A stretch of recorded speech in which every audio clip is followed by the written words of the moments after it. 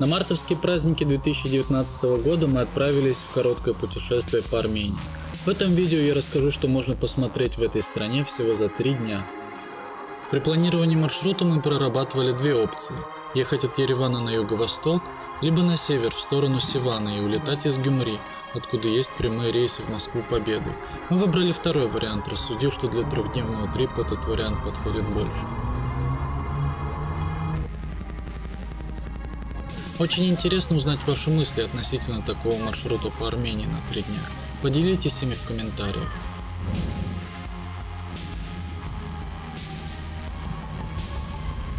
В Ереване мы взяли free walking tour по городу и за день обошли практически весь его центр.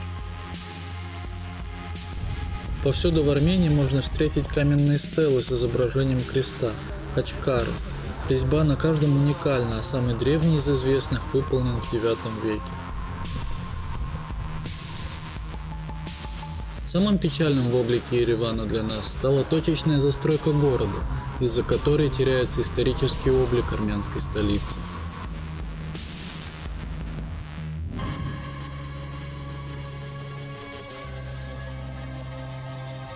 В Ереване нас поразило то, что древние церкви и монастыри могут стоять буквально во дворах советских панельных многоэтажек.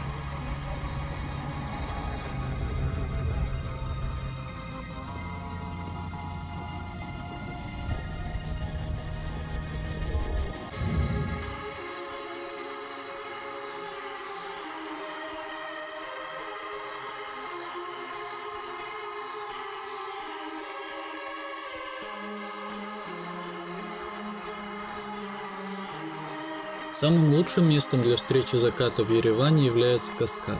Авангардистский парк с превосходным видом на город. В ясную погоду отсюда можно легко увидеть гору Арарат, символ Армении, находящийся на территории Турции.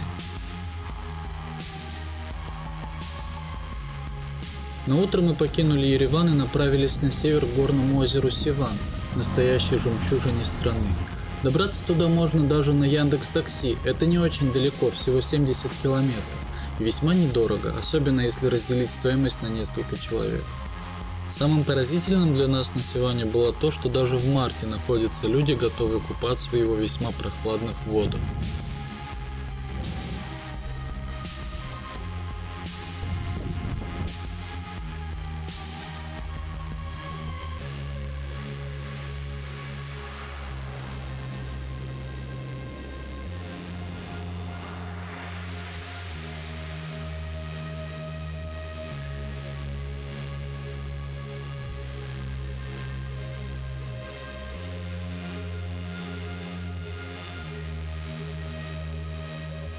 Над озером Сиван стоит монастырь Сиванованг, построенный в IX веке. Раньше монастырь стоял на острове, но озеро обмелело и остров стал полуостровом.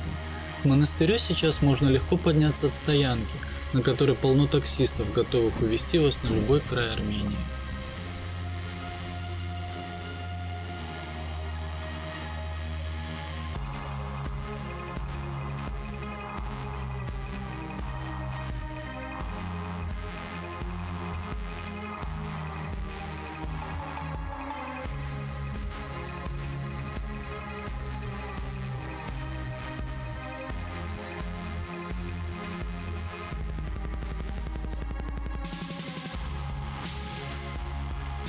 От озера Сиван мы добрались до курортного городка Дилижан с его памятником героям фильма «Мимино». Там же мы поужинали и заночевали.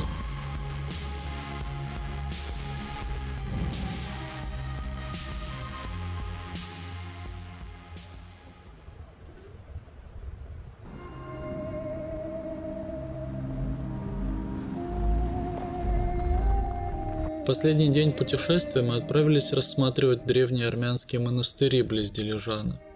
Заглянув по пути на заброшенную станцию канатной дороги, мы дошли до монастыря Агарцин, построенного в XI-XIII веках.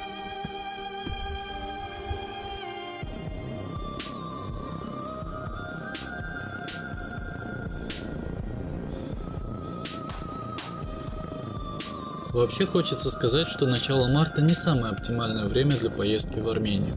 Снег в основном уже сошел, но яркой зелени увидеть не удастся. В итоге пейзажи могут показаться блекловатыми.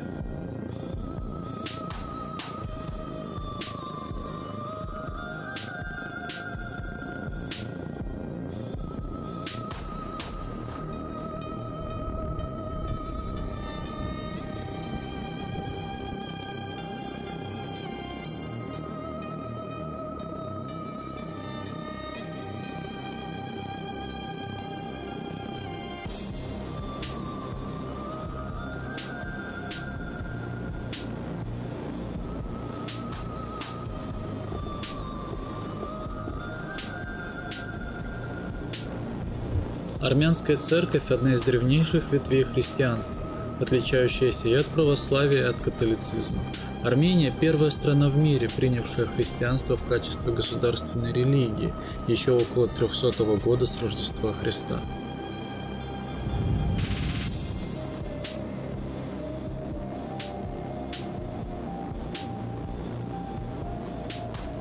После Агарцина мы осмотрели монастырь Гашаванг, построенный в XII-XIII веках.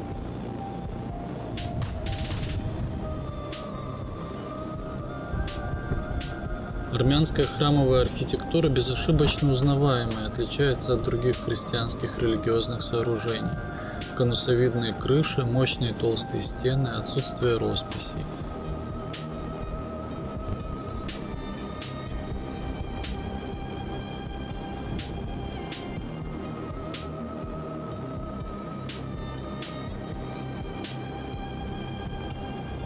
От Дилижана до Гюмри 100 километров, и этот путь также можно проделать на обычном такси за умеренную сумму. По пути в Гюмри возле минерального источника мы встретили нескольких молокан, последователей одной из ветвей христианства, отрицающей церковные ритуалы и таинства. Их обособленные деревни достаточно часто встречаются в Армении. Этнически молокане – русские, переселившиеся в Закавказье в XIX веке. В Гюмри по-прежнему заметны следы разрушительного спитакского землетрясения, которое 30 лет назад почти полностью разрушило город и унесло жизни более 20 тысяч человек. История Армении весьма трагична и полна боли. Войны, геноцид и природные бедствия не щадили армянский народ. Гюмри был последней точкой нашего путешествия. Оттуда мы вылетели прямиком в Москву. Подводя итог, можно сказать, что путешествие в Армению можно порекомендовать всем, кто интересуется историей. Она здесь находится буквально на расстоянии вытянутой руки. Напишите в комментариях, что показалось наиболее интересным. Хотели бы вы посетить Армению? Если вам понравилось видео, поставьте лайк и подпишитесь. Спасибо, что посмотрели. Оставайтесь с нами. Впереди много интересного.